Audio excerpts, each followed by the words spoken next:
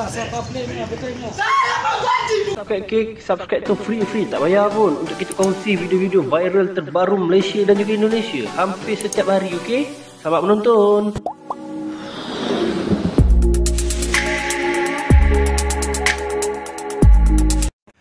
Okey, assalamualaikum warahmatullahi wabarakatuh dan selamat malam guys. Jadi pada video kali ni saya nak berkongsi dengan korang tentang kisah seorang pekerja asing mengamuk majikannya tak bayar gaji 3 bulan.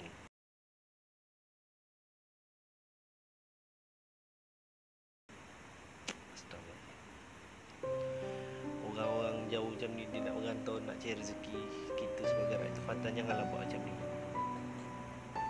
Nak untung boleh tapi jangan perah keringat orang. Okey, jadi terus saja pada kisah kita ni.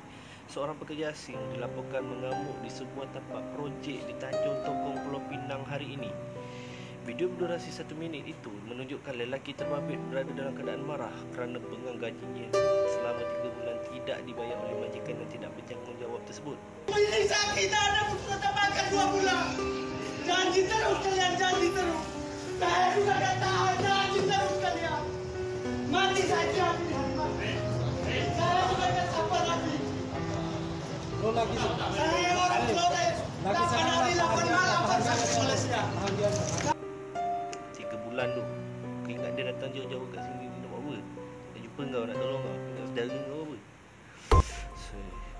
Berdasarkan percakapan lelaki itu Gaji belum bayar.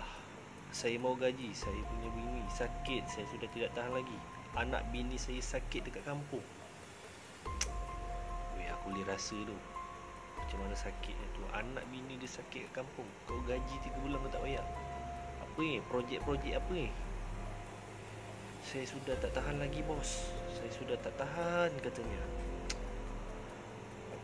Bagaimanapun rakan sekerjanya meminta dia bertenang dan bertemu dengan majikan untuk menyelesaikan masalah itu Di media sosial, netizen bersipati dengan nasib menimpa lelaki itu Okey, kita boleh tengok komen-komen orang kat bawah ni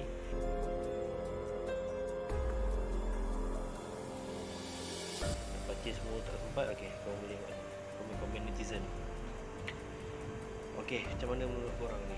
Jadi, okey, setelah menonton video tadi, macam mana pendapat korang? Boleh komen kat bawah. Dan kalau korang suka boleh like and share. Dan mari kita sama-sama doakan abang ni semoga dapat hak dia kembali dan boleh menafkahi anak bini dia dekat kampung. Dan kepada korang, terima kasih kerana telah menonton video ni. Dan support channel ni. Assalamualaikum warahmatullahi wabarakatuh.